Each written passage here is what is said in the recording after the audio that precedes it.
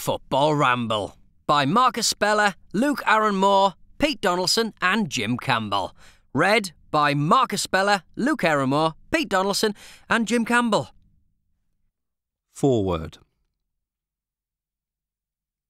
Ladies and gentlemen, welcome to the Football Ramble.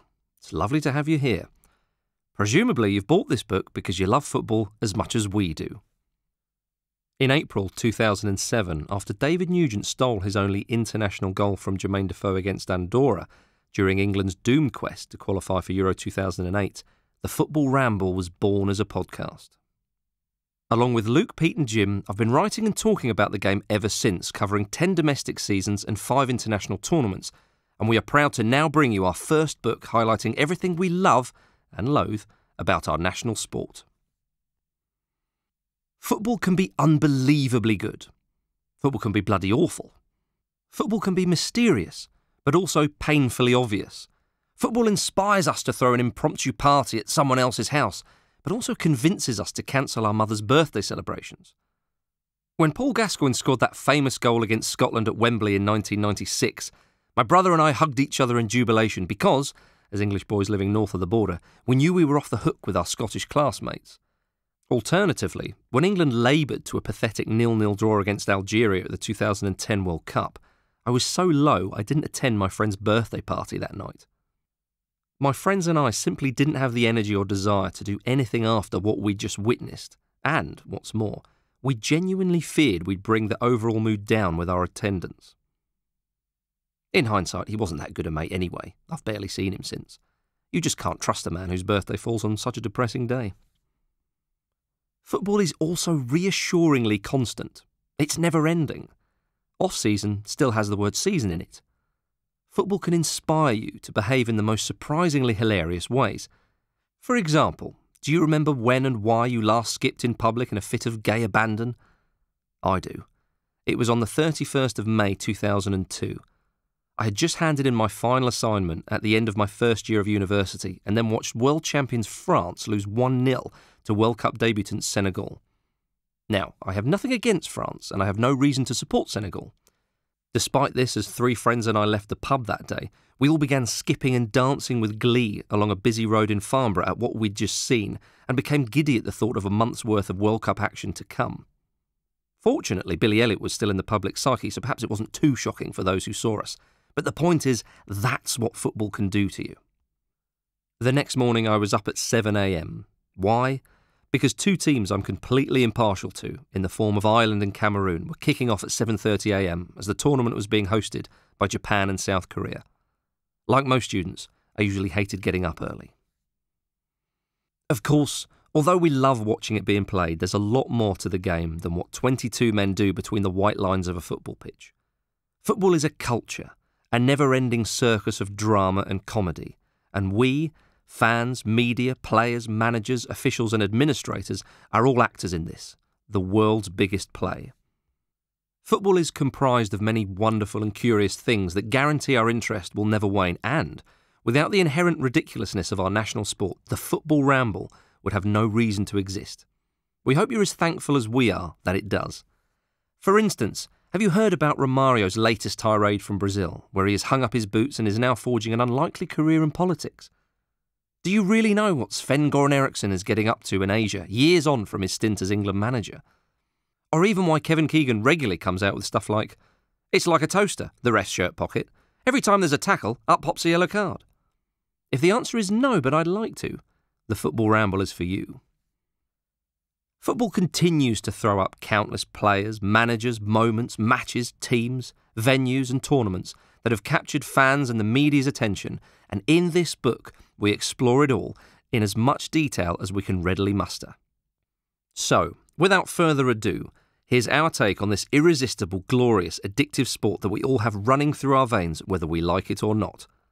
In the words of the great Barry Davies, away we go. Marcus Speller, October 2016.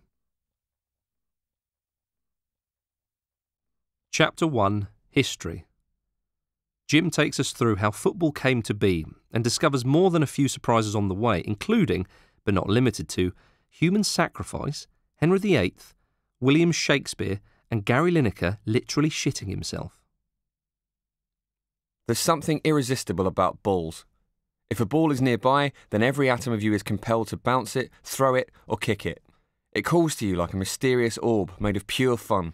You don't know why, you sometimes don't even notice it happening, but you just need to play with it. Much is written about how football began, about who invented it, and at what point it became enough like the game we have today to be considered football. Maybe it exists because it has to. Something about us needs to kick around a spherical object, and football has evolved so that we can satisfy this urge. Its true beginnings probably come from our ancient ancestors kicking fruit about, because when there's a roundish object on the ground, something inside us just has to absolutely leather it. Even as a 34 year old man, I'm still tempted by every stray bottle cap I come across, in fact, I once broke my toe attempting to kick one, but that's a story for another book. Kicking things is fun. Throw in an objective like scoring to give it some competitive purpose, and you have a sport. To people like ourselves, football is a big part of our lives that has always just been there. We've been meeting since 2007 to enthuse and despair about it into microphones, then release our thoughts into the world simply because we're hooked. All fans have a history with it, yet it has a long history without us. Of course, it hasn't always just been there. It's evolved over time to become the behemoth it is now. However, it started, it's been quite a journey. Early doors. Football was formalised in England in 1863 when the Football Association got together in a pub and decided on a definitive set of rules for the sake of practicality. This is often considered to be the birth of the modern game, but the true history of football goes back a lot further than that no doubt drunken afternoon.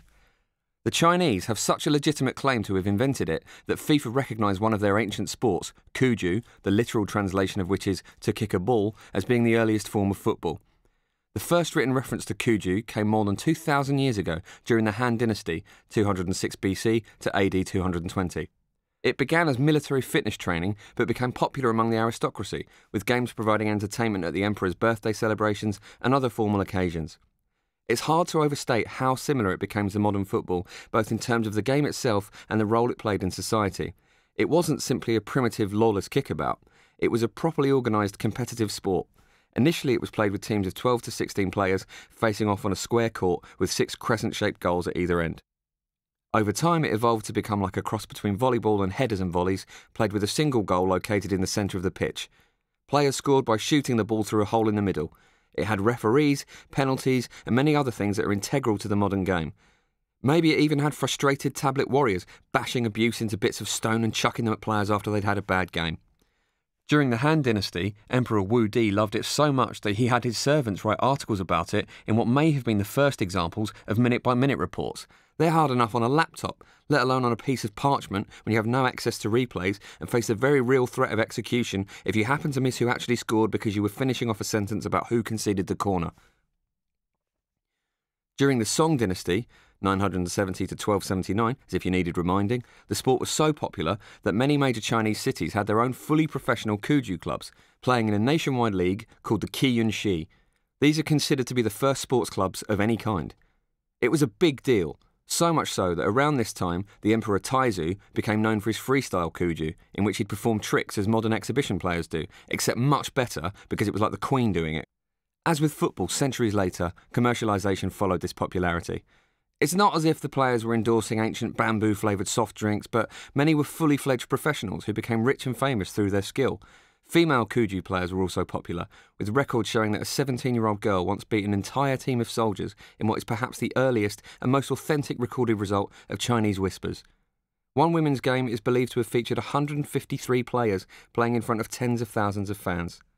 Sadly, the game went into decline during the Ming Dynasty, that's 1368 to 1644, possibly because everyone was getting really into vases instead. As a sport, it became associated with brothels and vice, with teams of prostitutes organising and playing games to attract customers, which seems both coy and forward at the same time. This reputation diminished its popularity so much that it ceased to exist at all, though at one point during the Qing dynasty, 1644 to 1912, obviously, it was modified to be played on ice skates in what was effectively a spin off. That's some pretty modern thinking. If this has happened before, and as football becomes more like a product than a sport, then it can only be a matter of time before we get the Premier League on ice, or perhaps a World Cup in Antarctica. It makes as much practical sense as a World Cup in Qatar, more so if you factor in global warming. So, football, this mad and addictive game that we all love, that is ours, has happened before. As a fan, it's hard to get your head around that, especially as it was popular over a period of 12 centuries, far longer than football as we know it has existed. Maybe Cuju wasn't even the first time it had happened. The dinosaurs at the top of the food chain must have needed something to do when they weren't eating. Tyrannosaurus rex would have had the pace for it, and the tails would have provided a useful extra limb. With arms as rubbish as that, they wouldn't have been playing basketball for. We hope you enjoyed this preview. To continue listening to this audiobook on Google Play Books, use the link in the video description.